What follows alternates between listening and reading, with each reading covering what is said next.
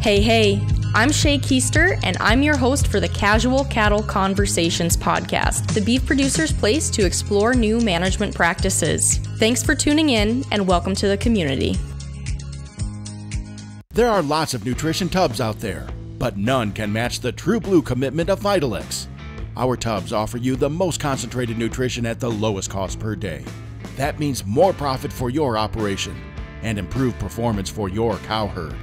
In fact, research shows Vitalix tubs increase feed efficiency by 20% while boosting conception rates, herd health, and weaning weights.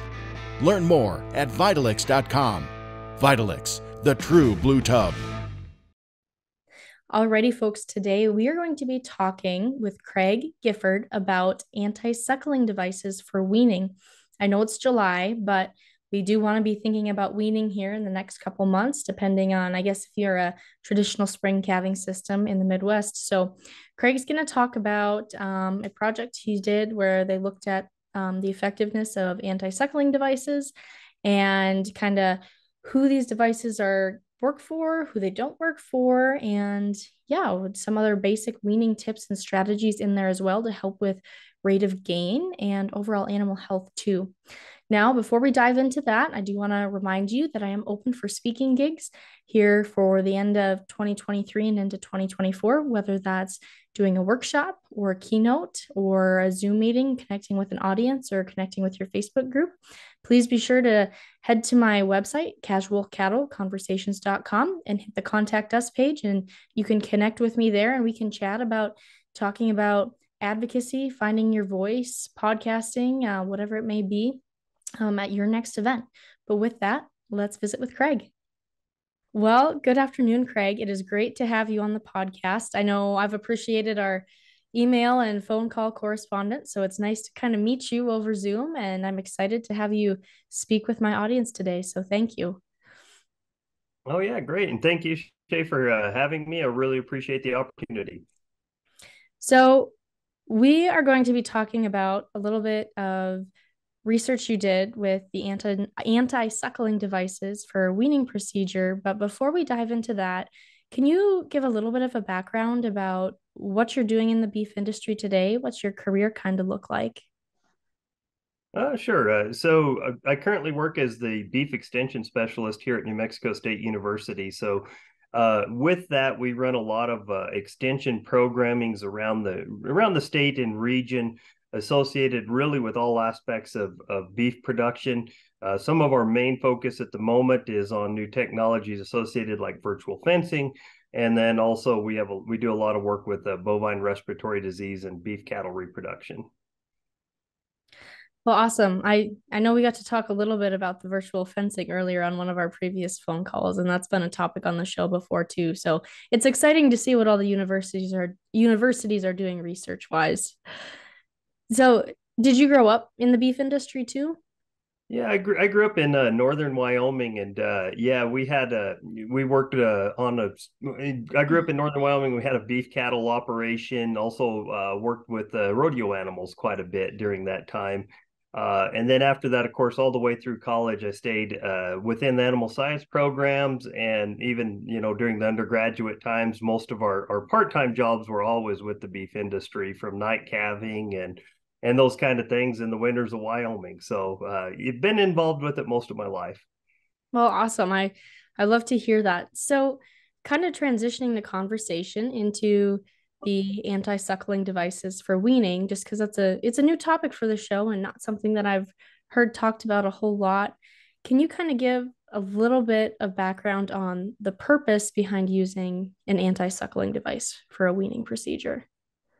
Yeah, sure. They've they've been around for a little while now. Um, they've uh, the the concept to this is is really a two step weaning process, and so the idea with the nose flaps or the weaning devices are to sort of separate the need of that calf for the mother's for suckling or the mother's milk. Uh, by the time these are used, most of the calves are already on feed they're they're eating grass they're fully developed from that capacity so the the need for suckling isn't there any longer obviously we'll be weaning them soon So the idea behind these is again to block that suckling ability of the calf, but allow them to re- remain in contact with the dam.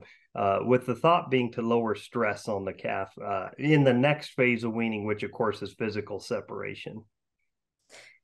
So, if someone were to like implement this, you called it a two step procedure, what would that look like if they were doing uh like their would you put the nose flaps in or rings in like when you'd precondition or would you do that on the second time and you'd actually kind of work those calves three times or what would that look like? Yeah and that's most of the work that that it's variable time frames that i've seen in the literature and you know ranches i imagine would ex- have to experiment with this but i'm going to just throw six days out there as, as sort of a and I don't know if I'm going to call it consensus, but it's something you see pretty frequently. Uh, and so what that looks like is as you prepare for weaning or processing of these calves, you'll get you would gather the cat or gather the cows, run the calves through the chute, apply the uh, nose flap or the weaning device, anti-suckling device, and then um, and then you return the calves with their mothers, uh, with the dams, and then and then you're looking at and I've seen from four days, six days, even up to like 28 days uh, in different experiments. You would regather at that time, and of course, remove remove the uh, nose flaps, and that's when you would also do uh, the physical separation from the dam. Okay, so do you know what um, an average cost is on one of the nose flaps or an anti-suckling device? Yeah, I think most of those are running, you know, and this is a ballpark number depending on the type, and some have spikes, some don't have spikes, that kind of thing. Mm-hmm. There's several different varieties, but in general, uh, they run anywhere from two to three dollars per unit. Um, you're going to lose. I've seen in the I've seen in the literature anywhere from 30% to uh, 10% loss of these. So you will lose some, which which is going to increase that cost a little bit, unless you happen to find them out there. But I don't think that's very likely in most cases. So, uh, but two to three dollars, and then you're going to lose some along the way. Okay, so you kind of said that the main purpose of using this method was that it's one of the lowest stress methods you can have for weaning calves, correct? You know so um it, it, that's the intent of, of of that particular product. Um y- the idea is that they still have contact with the dam so theoretically that there will be less stress associated. Um there's a couple of theories though going on i guess in the in the scientific literature. One of those is that you don't necessarily decrease the overall stress you just spread it out more over the two periods. And so uh, I don't know if if that applies. Um, then, of course, there's been some more recent work coming out of Brazil uh, that at least down there and with the Nelore cross, Nelore cattle and Nelore cross cattle, so more of a Bos indicus, mm-hmm. Bos indicus cross. They they actually had a pretty significant amount of like uh, lesions within the nose as a result of this. So in their particular case, um, gains were down, and they theorized that stress was up due to these. So you know, as with any weaning situation, it may be either breed and or ranch dependent. Okay, but with that, what you saw, did you see gains increase in your particular case when you were working with them, or what did you kind of see as far as a rate of gain for those calves? Yeah, we've we've dabbled with this a little bit, and, and I hesitate to to extend it to a very formal publication because a lot of what we've done is summarize the data that's out there. Um, what I'll tell you is that most of the studies, and, and ours included, that the nose flaps or or the weaning devices in combination with fence line weaning um, tended to have the most gains over over that weaning period.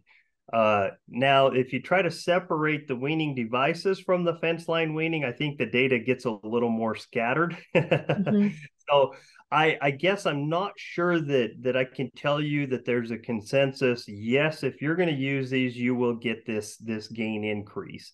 Um, but those that have reported gains, and and there are studies out there that have, um, anywhere from you know about a half a pound a day plus or minus increased gains versus those that did not have the weaning device.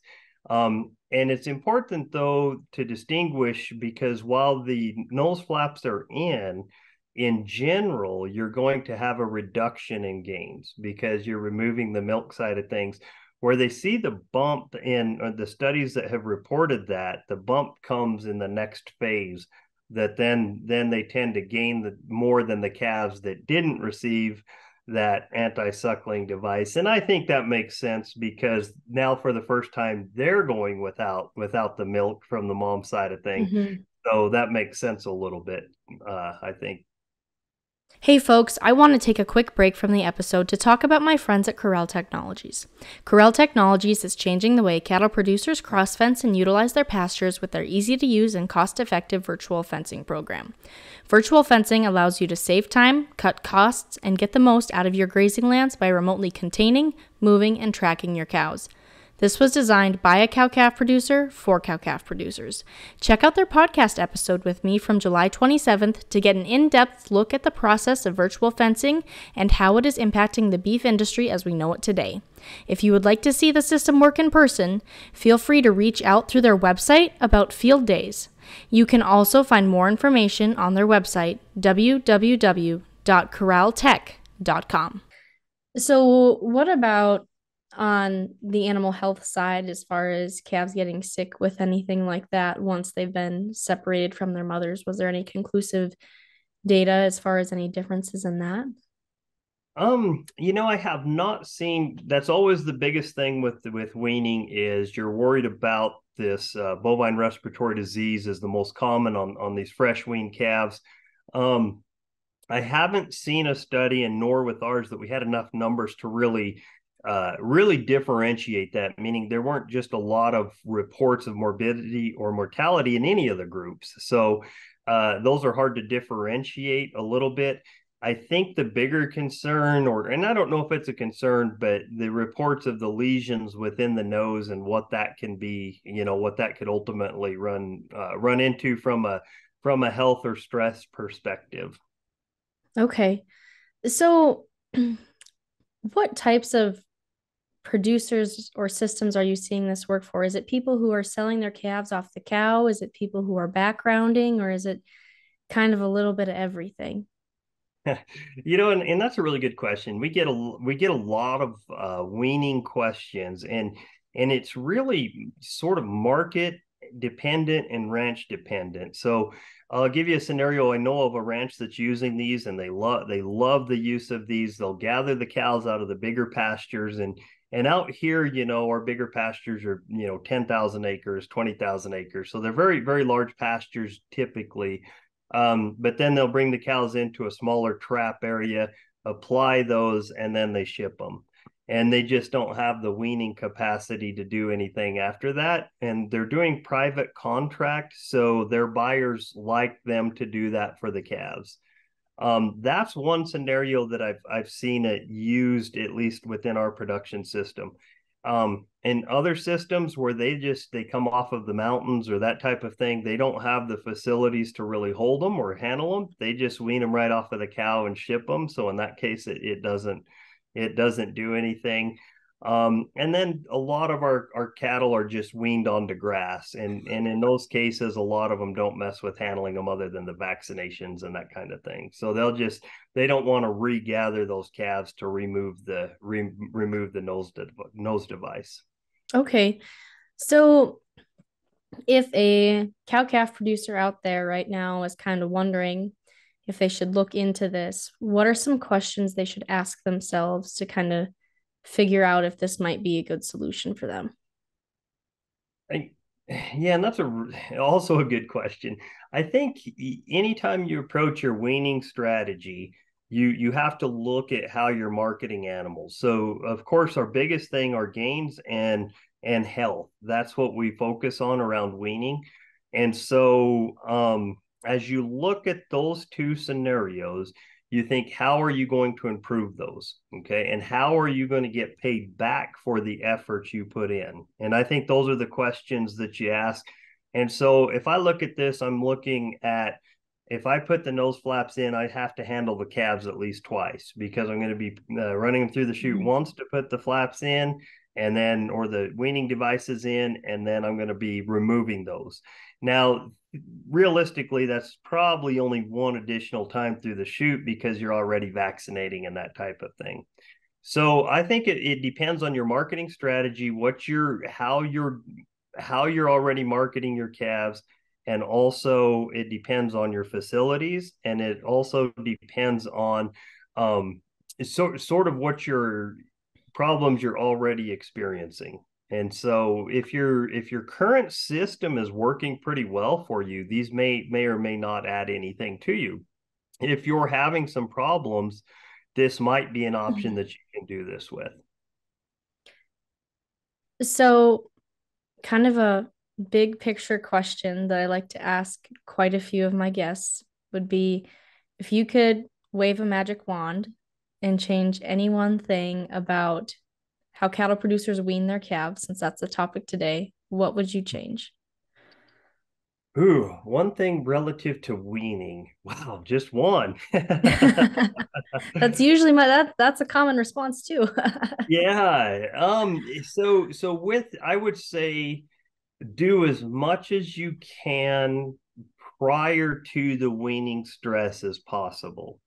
And so, what I mean by that, um, when we do things like leave bulls intact to weaning to try to increase gains, uh, really, if you wade through the data, yeah, you will have increased gains potentially. It depends on the data set up through the summer months due to leaving them bulls intact. But by the time you castrate them in the fall, there's so much the the testicles are so much more developed that oftentimes you lose that weight advantage. And but then you also expose yourself to greater respiratory disease risk just to the enhanced stress at that time. So do things like dehorn definitely vaccinate castrate do as much of that while the calf is young and really set him up for success him him or her up for success. Because uh, when that calf is a newborn, that's the first chance, or, or around that t- branding time, that's the first chance to really prime that immune system and get ready for this weaning period. And so, you know, if I could say one thing is is do as much of that before weaning as you can. So when you're weaning, uh, you're minimizing all the branding, the dehorning, as much of that stuff as you possibly can uh, to really minimize the stress, uh, the overall stress load of that calf at weaning. So, am I summarizing that correctly if I'm saying spread out the stressors? Yeah, I think that you know, for sure we we take these calves in and, and we've had experience with this um in in feedlot research. And you know we do respiratory disease research at times and collaboratively with several universities. And if you want to this sounds a little bit twisted but you have to have sick calves to do respiratory disease research. So if you want calves that are going to get sick you get fresh weaned, naive bull calves. So fresh weaned right off of their mom, they're still intact and they've never they've never seen a vaccine needle. And I promise you, you're going to get a lot of sick calves out of those. So as a consequence, they're going to get discounted more by the buyers too. So we pay less for them, but we have a lot higher death loss or a lot more treatment rates with those. So you're exactly right anything you do to increase your stress level substantially is going to decrease the effectiveness of things like your vaccination programs and your health programs and your nutrition programs. And so, if you can spread that out, get most of that knocked out at branding time. So, weaning time is usually just a vaccination and a, and a weaning uh, time. I think those are those are really good practices. All right. Well, Craig, as we kind of wrap up today, is there anything else you want to mention or share with the audience on this quick episode? Yeah, no, I, I would say, you know, and, and we work with people out here all the time on on similar situations and you know, don't fall into the trap that, you know, this worked for so and so but didn't work for me or whatever. There a lot of these systems are ranch dependent.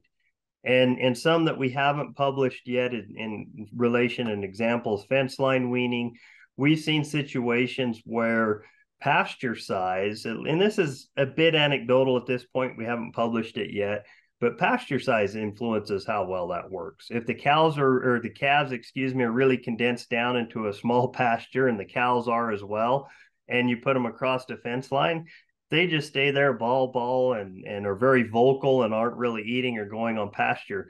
Now on the flip side, if we wean them and both pastures are really big, then they kind of kind of hang around the fence line for a day or two and then they're gone. They kind of disperse pretty much. So, you know, always analyze your situation individually on your ranch. Uh, things like we, anti-suckling devices or, or weaning devices, they can work well in some situations and and fence line weaning can work well in some situations and it just it really depends on your operation all right well craig thank you very much for being on the show today i really appreciate it yeah no problem and that's a wrap on that one folks thank you for tuning in today and joining in on the conversation be sure to take this a step further and take the advice you learned and implement it on your operation. If you want to have a conversation about it, head over to my social media and send me a DM by following at Cattle Convos and connecting with me there.